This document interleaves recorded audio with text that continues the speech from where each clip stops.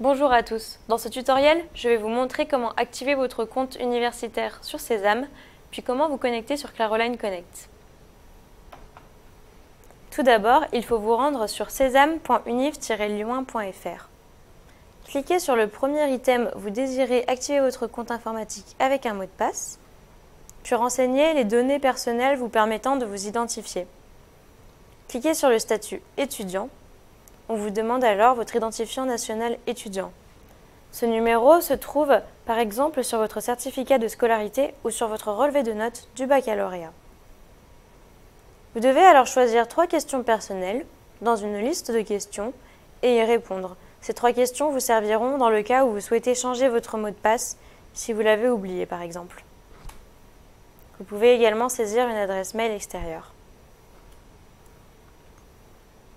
Cochez la case de charte d'utilisation et vous pourrez alors enregistrer votre mot de passe qui doit répondre aux consignes dans l'encadré vert.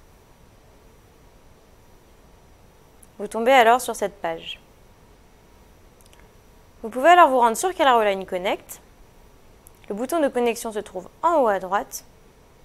Et il faut vous connecter avec la connexion Lyon 1, c'est-à-dire cliquer sur le bouton orange. Pour votre identifiant, il vous faudra votre numéro étudiant. Ce numéro étudiant figure sur votre certificat de scolarité ou sur votre carte étudiante remise le jour des inscriptions. Attention, il faut remplacer le premier chiffre par une lettre allant de P à Z. Par exemple, si votre numéro étudiant commence par un 1, il faudra remplacer ce premier 1 par un P.